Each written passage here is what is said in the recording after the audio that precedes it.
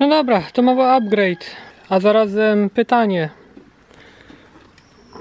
Bo niestety, ale nigdy nie miałem okazji mierzyć ogólnie jakie tu są opory na tych cewkach przy tym zapłonie, ale chciałbym potwierdzić, ewentualnie w komentarzach byście mi napisali, czy mam rację, bo prawdopodobnie te cewki są uszkodzone, mają zwarcie, dlatego są teraz takie cyrki, trzeba parę razy kopnąć, żeby dopiero to zaczęło jakikolwiek iskrę robić. A jak tego nie zrobimy, nie ma sensu nawet grzebać dalej przy tym motorze, ustawiać gaźnika i to wszystko, bo co z tego, że ustawimy gaźnik, będzie pięknie chodził, jak już odpali, jak będziemy mieć problem z odpaleniem, nie? Wywalimy się w lesie i kaplica i trzeba pchać do, motor do domu, albo szukać góry i odpalać gdzieś z górki jakiejś. Ale chciałbym przynajmniej się upewnić, czy mam rację. Yy, mianowicie miernik ustawiamy w ten sposób. Czyli tutaj dajemy na, żeby sprawdzić zwarcie, można tak powiedzieć. Ja nie jestem specjalistą, od razu mówię. Potem ustawiamy na blipkanie. I słuchajcie to.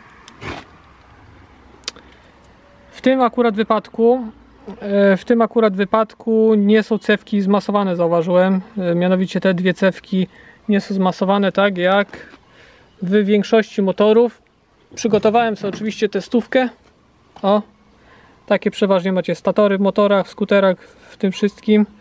I przeważnie tak jest, jeden koniec jest do masy, potem idzie cewka, jest wszystko owinięte i potem wychodzi jednym kablem, tutaj akurat czarno-czerwonym, nie?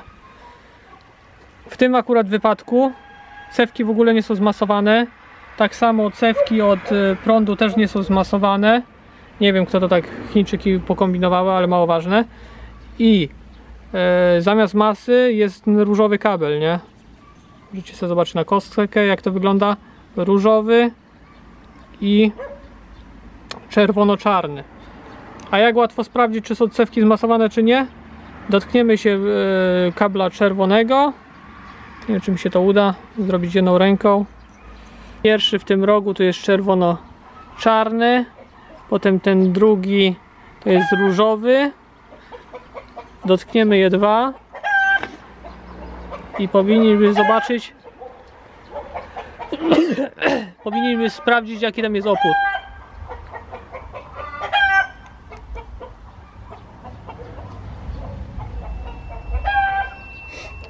Pokazuje 12. A nie powinno być 12 ze względu takiego, iż jest tu bardzo cienki kabelek i jest jego ogrom, nie? Tutaj jest gruby kabel, też niby jest go dużo, ale prąd ma dużo łatwiej tutaj przepływać przez to, nie? Dobra, nie będę za bardzo wam mieszać.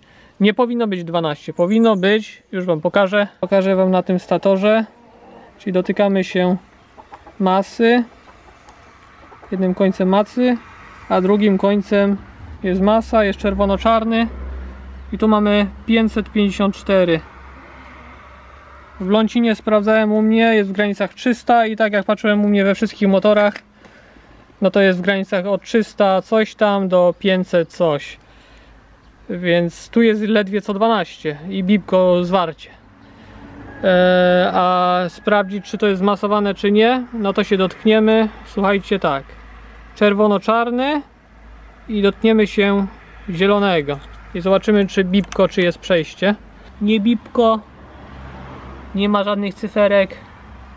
Ta jedynka to jest cały czas jak coś więc na, na to nie patrzcie. Dobra jest dobrze podpięte. Czyli cewki nie są zmasowane. Cewki nie są zmasowane. No i wychodzi na to, że jest uszkodzony uszkodzona ta cewka ma zwarcie. Dlatego trzeba parę razy yy, tak jakby kopnąć żeby dopiero zaczęło jakieś iskrę robić. Czyli po prostu ładu, naładuje się kondensator w module zaponowym i dopiero wtedy zaczyna nam robić iskrę no czyli jednak nie moduł a stator.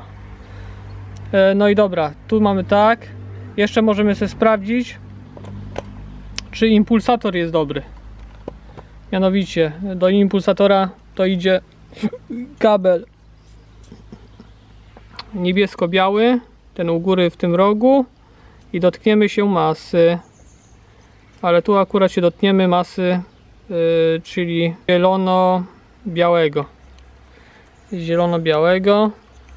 A dlaczego zielono-biały? Bo tutaj zobaczycie sobie a, niebiesko-biały i zielono-biały, bo nie ma tak samo masy w, silniku, tylko masa leci kablami.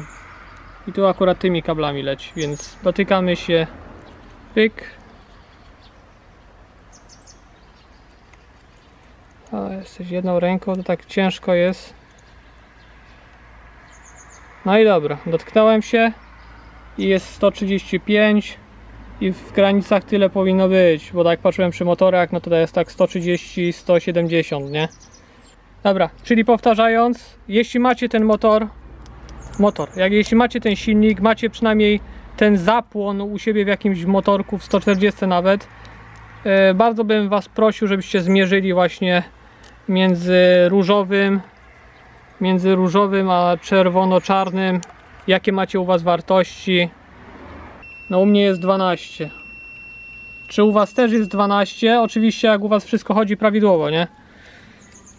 Czy u Was też jest 12? Czy u Was jest więcej w granicach 300, 300 coś? Powinno być w teorii, tak na logikę. W granicach 300 powinno być. I nie bipkać yy, zwarcie. Więc yy, no, tyle. Kończymy ten odcinek. Czekam na Wasze komentarze, bo chętnie bym to sprawdził, ale nie mam jak. Nie mam nikogo tutaj w okolicy z takim e, silnikiem, z takim zapłonem. A też w przeszłości, jak widzieliście, miałem coś takiego u mnie w 170, ale nie potrzebowałem nic grzebać, bo tam było wszystko dobrze. I nie mierzyłem, nie pamiętam jakie tam są wartości. Przynajmniej nie pamiętam, żebym mierzył. Dobra, tyle. To ja się z Wami żegnam. Mam nadzieję, że przynajmniej raz mi pomożecie. Bo rzadko potrzebuję pomocy. No ale akurat w tym akurat wypadku no nie jestem w stanie zweryfikować tego. A chciałbym na 100% wiedzieć, że to jest uszkodzone, więc czekam, czekam z niecierpliwością na Wasze komentarze. Do następnego, na razie, trzymajcie się, hej!